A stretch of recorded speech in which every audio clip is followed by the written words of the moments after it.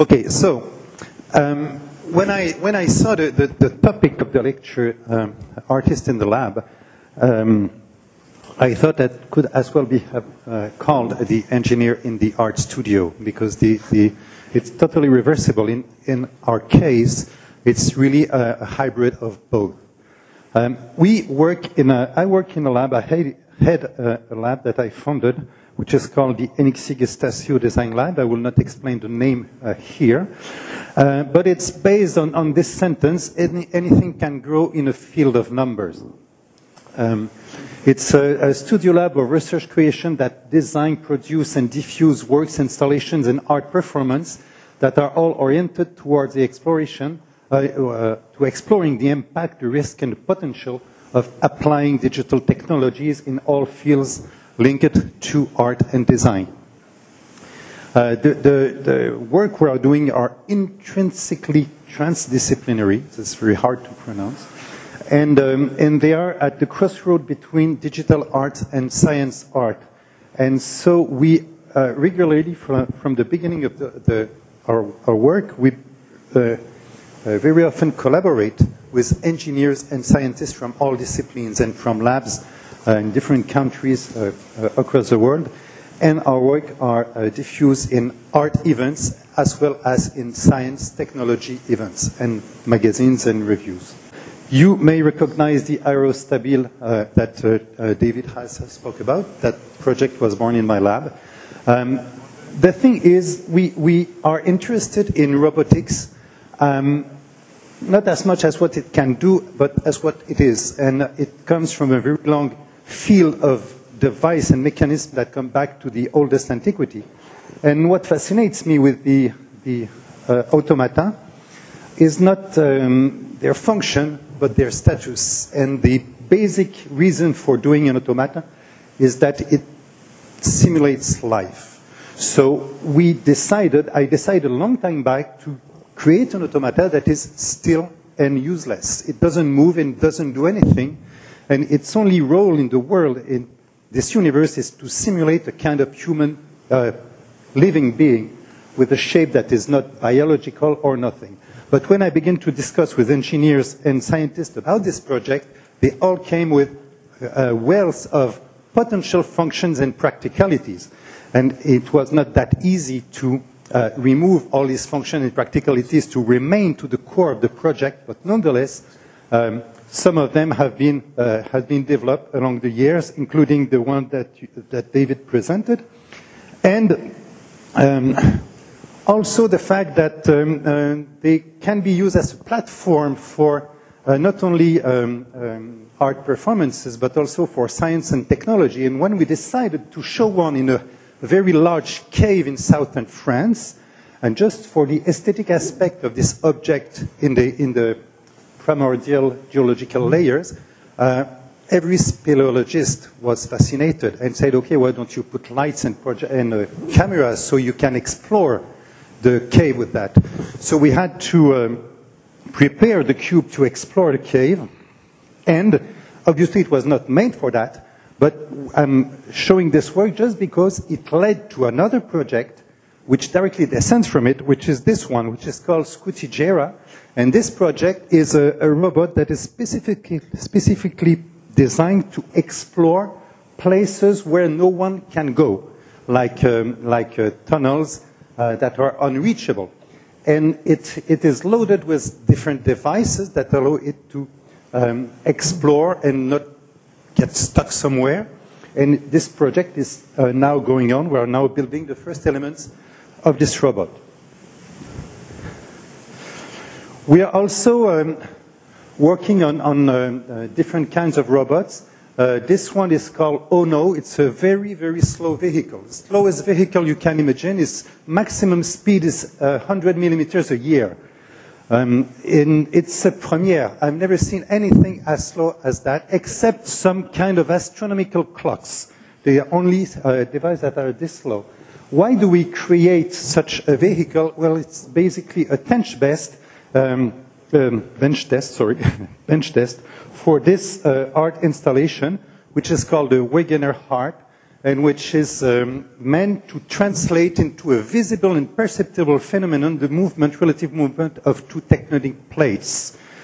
So you see in these two works, um, the, the, aim is to reveal something that exists and that cannot be uh, reached otherwise, and to create these uh, devices to bring them to human perception, which is uh, um, precisely what is meant with what we mean and what we try to do with the Mende Cathedral project. The Mende Cathedral project is going on now. We have been working extensively in it for about two years, but the first roots were planted about 10 years back. And in this project, I will try to show how the art project can be rooted in several fields of knowledge and the merging of these fields of knowledge create an artwork that is very simple to experience, but um, that you can uh, explore onto many layers and to see how, um, by exploring these layers, you can modify your perception of the work.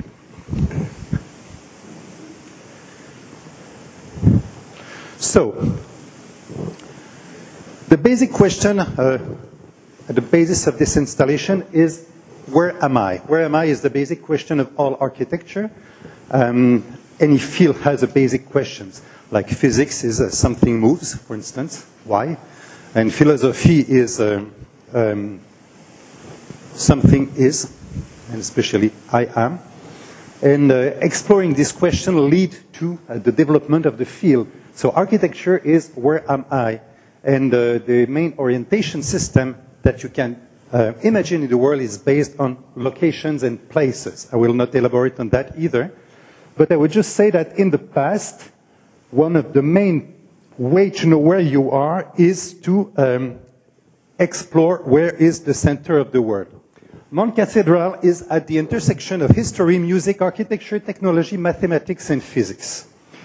And um, all these fields connect and join into this very strange concept called harmony. Harmony is a very old concept, as you may know, and uh, is as old at least at the Greek antiquity, which is why I show a picture of the Olympus mountain in Greece. And Olympus and harmony basically have the same etymology. Um, it is from there that something rules and organizes the world. In the antiquity, the um, harmony of the universe was based on proportions of human, of integer numbers, themselves based on the proportions of the human body. It was an ideal human body. If you look at this statue, which is called uh, uh, the sculpture, the Doryphorus, he has proportion based on integer numbers, but it makes a um, human being that cannot exist. It's a little bit like a Barbie today, that, uh, that are ideal proportions that you can try to reach, but you will never reach them. Nonetheless, they were considered as the proportions of the gods, and the proportion of the gods were transmitted to the proportion of architecture and musical scale, which were seen as cosmological echoes on both sides. The, uh, these proportions were um, ruling about everything in the world. Here is a cosmology of the past where you can see music, solar system, the elements, uh, earth, water, air, fire. And they were ruling also the, the steps of a woman's pregnancies and the economy. It was an overwhelming concept, which remains on different um, avatars up to uh, the Renaissance. And meanwhile, all the solar systems that were imagined in the past, that were all based on this musical analogy, um, were progressively transformed while maintaining this harmonic connection, while the center of the world was moving. It was from the surface of the earth, then center of the earth, then it went out of the earth, and the story of the universe basically is the story of the movement of the center of the world. And today, the only thing that we can tell, say about the center of the world is that it is basically nowhere. So because of the princi relativity principle, we can define about any point in the world as our center of the world. Which means that I can perfectly decide that the center of the world is where, I'm, where I am. I will just show, show you a few pictures to um, illustrate the fact that the cosmological models translate directly in architecture. Here, is, here are old Greek temples uh, where nobody could enter except for the priests. They were completely centrifugal architectures. This was the center of the place, and it was the, the most sacred place on earth. So, in, in this cosmological model, that was the center of the world. While the uh, architecture of sacred buildings evolved, it went into many steps. And in these steps, you can see that it's not anymore a central building. These are Gothic cathedrals, uh, but a procession. People would enter here to reach the most sacred place on earth, which was somewhere here. It was a small box where the Christ should reside in the church. But while it was uh, going this way, also the center of the world could have an access to the world of human.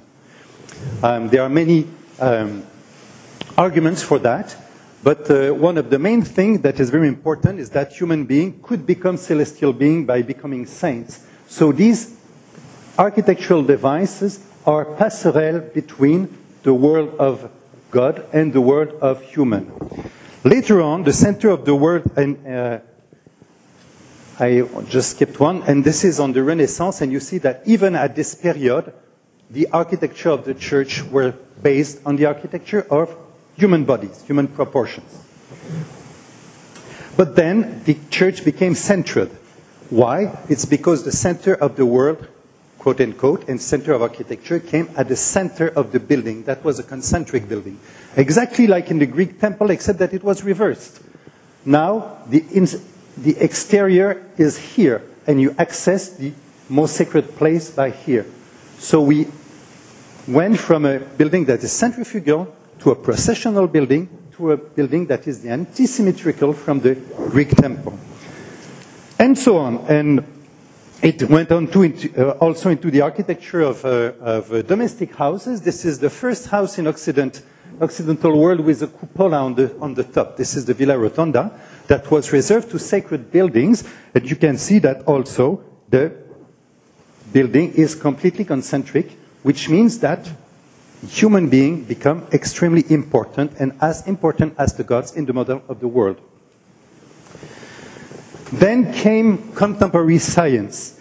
And contemporary science, uh, with Kepler, for instance, decided or discovered that the planets and the main orbits of celestial bodies were elliptical.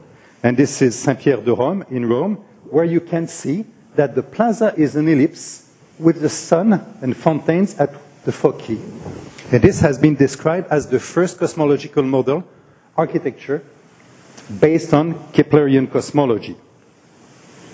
Baroque church used also the ellipses that did not exist before. And then the universe became infinite and then the building became spherical because they just decided that, well, we live in an infinite universe, and these are the replica of the universe uh, just before the French Revolution. Meanwhile, a French engineer, um, Joseph Louis Nicolas Durand, decided that any building is not an individual object in space, but just the delimitation of an infinite space that spread in all directions, and by putting limits here, you design the building. But there is no reason to stop the space here. The space spreads all over the universe. So the universe is infinite and buildings are just parts of this small and infinite universe. So where I am, I am just at the center of something and that something is my own spheres. When I say that the center of the universe is where I am, it may look pretentious, but I just say it's the same for every human being. So there is no privileged place. So you have two kinds of different spheres uh, from where you are centered. First, the one where you project the elements of reality, which is called the perceptual sphere, and this one, which is called the sphere of eventual interaction, which is from a, a theory by a, a French philosopher Bergson. And you design, you define the radius of these spheres by your potential to act of, on what you see. It can be uh, either physical acting or symbolical acting while you try to relate with someone. So around you, you live in a center of different spheres of different radius that move and travel with you. And if you are not convinced, about that, you just look over you and you see that center of the sky is always over you. The zenith travels with you. It's right over your center of eventual interactions. Then, after the birth of contemporary science, uh, the notion of harmony, and particularly the harmony of the spheres, lost any pretension to say anything sensible about the universe. And it was replaced basically by this notion of harmonics that came into physics. Harmonics, you may know this drawing, show that when you have a complex signal, you may construct it by adding simple signals that are called harmonics. Any musician is perfectly aware of that. But what is less known is that uh, this theory, which is uh, due to Fourier, um, applies to about everything, not only sound, but it applies to light, it applies to drawings and patterns, and also to 3D environments. We can reconstruct all these environments around us through um, harmonics, but they are not simple harmonics like that. They are spherical harmonics that we will see. But meanwhile, it means that you can construct a complex sound by adding simple frequencies, and that you can analyze a complex sound to this first um, sonograph, spectrogram sonore, to detect the harmonics that are in it, that construct it. Here are some uh, spherical harmonics. Um, they can be represented in many different ways. Uh, the important thing is that instead of using trigonometric functions like sound harmonics, they use these functions here that are called the Legendre polynomials that you see here on 2D. And around the sphere, they create these patterns in certain forms of representation. This is the first one. This is the second one, third one. And for each one, you have second order harmonics on each side. What is fascinating is that despite the fact that the harmony of the sphere does not describe the world anymore, you can describe a lot of things with harmonics, and in particular with spherical harmonics. This is a French physicist, Louis de Broglie, who understood why the electronic orbitals were at certain distances from the radius through a musical analogy. He compared the orbit of the electrons to the vibration of a string. And through a direct musical analogy, he understood that the orbitals, electronic orbitals were made in certain way, which is fantastic because they were so small that nobody could observe them. And then at the other end of the scale, uh, this is a French physicist, Jean-Pierre Luminet, who by analyzing the fossil radiation at the other end, this is the whole universe here, the whole, whole celestial sphere with the very old fossil radiation, he noticed that some harmonics were missing in this part of the spectrum, and that means that the universe must be much smaller than we imagine. Much, much smaller. And if we see it this big, it is because it reflects itself into this kind of reflections, which is called a Poincaré reflections or dodecahedron reflection. This has not been demonstrated, has been published in the major science review in the world, meaning that if we are here in the, the Earth, we can, by observing far enough, see how the Earth was billion of light, uh, billion of years before.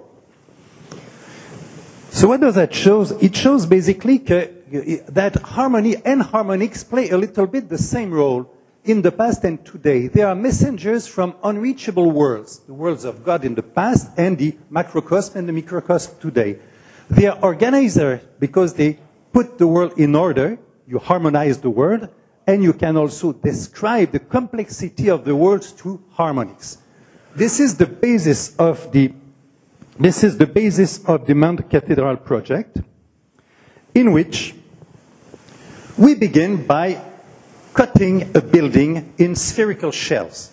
And these shells are the spheres of eventual interaction of, or of perception. And they are centered to where you are.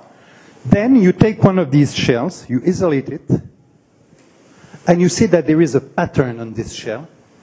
And this pattern, you can describe it through spherical harmonics. And you can create its spectrum. Here are 81 spheres extracted from the rotunda, Villa Rotonda. And we did exactly the same with the Mende Cathedral, which began by creating a 3D model of the cathedral, so in itself a, a very important work. This is part of the model being constructed by Guillaume Credo, an architect working in Lebanon, and he's a, a, a real genius of 3D modeling. And then we, we decompose the cathedral in spheres of equal radius and progressively increasing radius. So you can see the blue sphere, the smallest one, the yellow are the biggest one, and on the largest sphere you have only a small tiny piece of the cathedral appearing. And here's another drawing showing the very thin spheres. We select among all, all these spheres about 20 of them, separated by one meter interval. And when you travel the cathedral, these spheres travel with you, and they cross the walls and the stone of the cathedral, changing constantly the patterns on their surface. So here you see spheres that are progressively inflating inside the cathedrals, and you see the patterns that appear on the different spheres. And you see that obviously when the sphere inflates, the patterns change.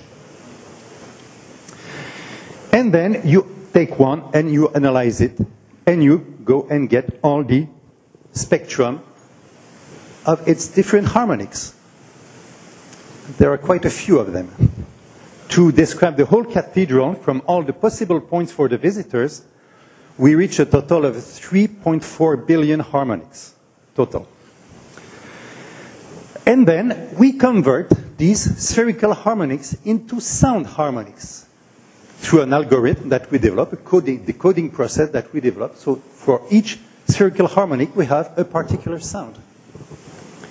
And then we define within the cathedrals a large number of points, 60,000 points separated by 30 centimeters interval, and these points are all associated with a musical sound that correspond to the musical transposition of the cathedral at this very point.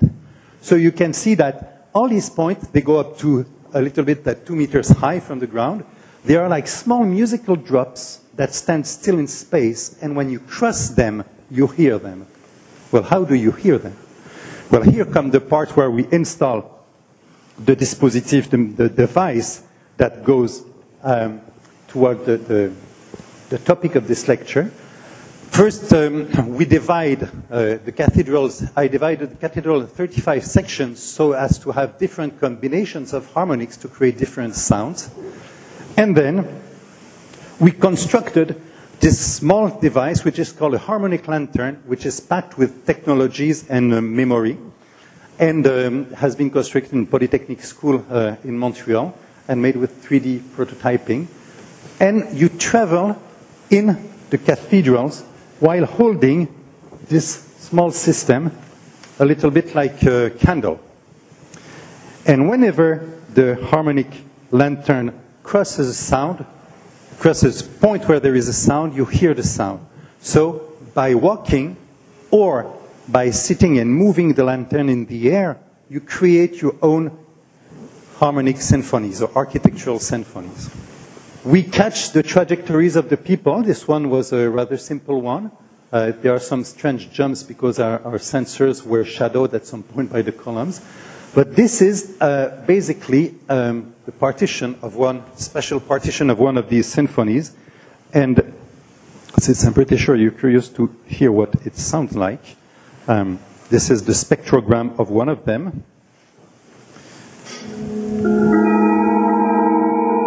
It corresponds to the wandering of a visitor within the cathedral. And you can see into the spectrum that the, these are the lower frequencies, these are the highest frequencies, these are the ultra high frequencies, and people travel while hearing these different sounds. This is about a four minute walk in the cathedral. So basically, what we created is an augmented reality system, but the reality is augmented for something that we also invented. And in this invent, in this thing that we invented, we packed a lot of uh, history and architecture and physics layer but obviously, when you travel in the cathedral with the lantern, you do not need to know all these things. They are not relevant to your own appreciation of the system. But we extended your sense through a kind of prosthesis that you have in your hand, and your prosthesis is absolutely necessary to detect this musical universe that we created.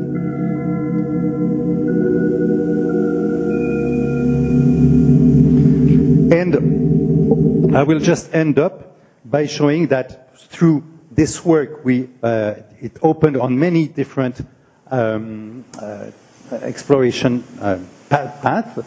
Like, for instance, we created all these small sculptures that are uh, bronze, are metal sculptures and polymer sculptures, uh, expressing the spherical transposition of the cathedral. Then um, inventing new shapes, like reversing the reconstitution of a church. This is a spherical inversion of this church. Or moving it in time, like this, which helped us to create the design of the Ono very slow vehicle. So uh, through these uh, few uh, pictures, I hope I've shown you that there, there, are ways to create that are completely uh, inspired and um, feed, fed by scientific or technological knowledge and that you can create effectively an artwork where you can either just appreciate or explore the different layers. And this exploration will modify your understanding of the work and your appreciation of it.